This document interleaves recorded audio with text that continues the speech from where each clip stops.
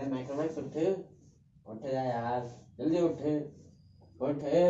यार अगस्त का महीना चल जल्दी उठ जा यार बहुत सी कंपनी आगे जा रही है जल्दी कर। अरे रियलमी ने भी देख चार फ़ोन निकाल दिए सेवन प्रो भी निकाल दिया। तू नहीं उठ रहा उठ। अरे ले मैं भी आगे निकल गए उठ जा वो, क्या कर रहा है? अरे सैमसंग भी चलेगी आगे यार जल्दी उठ। एप्पल भी ने भी निकाल दिया अपने किडनी वाला फ़ोन जल्दी कर। अरे तुम टीम अपने लगे रहो कमिंग कमिंग करते रहो ही नहीं रहा। लगे हुए हम सपोर्ट करने। उठ जा अब कमिंग सुन कमिंग सुन करो। सारे आगे निकल गए। भाड़ में जा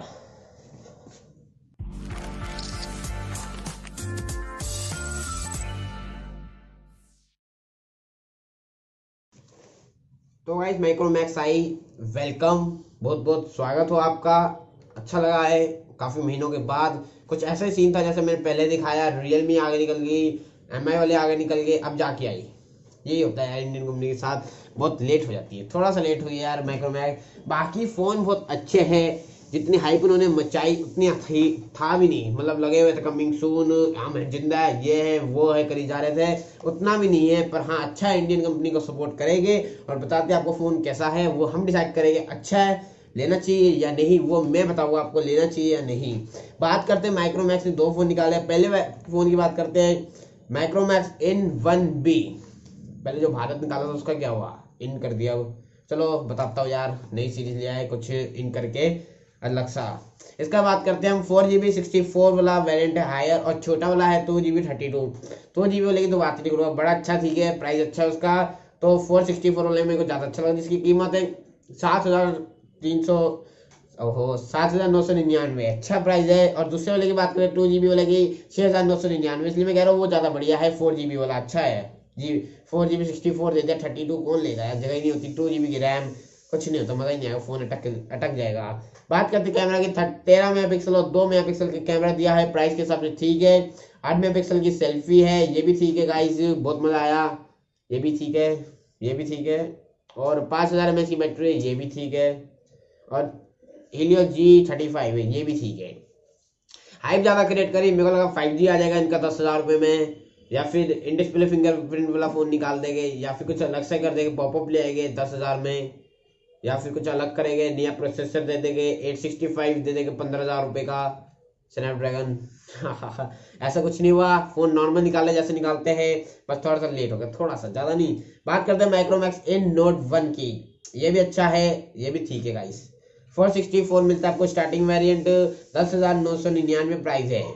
थोड़ा, इसका थोड़ा सा ज़्यादा लग रहा है मेरे को, दस हज़ार नौ सौ निन्यानवे। फीचर की बात करते हैं तो सिक्स पॉइंट सिक्स इंच का full H D plus display है।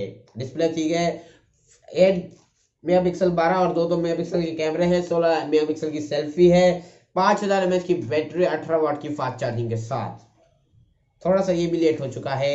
मेरा जी एटी फाइव फ्लिपकार्ट पे दिखा रहे हैं रियलमी सिक्स मिल रहा है आपको नौ हज़ार रुपये का। Nine nine nine nine triple nine rupees का।